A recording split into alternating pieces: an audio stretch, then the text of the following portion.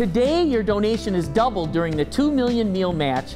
I'm Jerry from Gleaners with a great group of volunteers who are making a difference, just like this mom from Cody who I talked to who's making a difference, but she used to need some help. I am Arlisa Hurd. I am a parent volunteer, parent first, but I'm a parent volunteer and a parent leader over at Cody High School. And we, the parents at Cody High School, actually coordinate and run the uh, Gleaners, the mobile food pantry that comes once a month. And that's how we got involved, helping other parents and helping the community. I also am in need as well. I lost my job two years ago. So our family completely changed. My financial life changed. I was one of those people who didn't always reach out for help because I didn't always need it. But I found that Gleaners, while I'm helping somebody else, also helped me. Giving back is important to all of us. Please be generous. Help feed kids today. Call 1 855 315 FOOD or go to myfoxdetroit.com.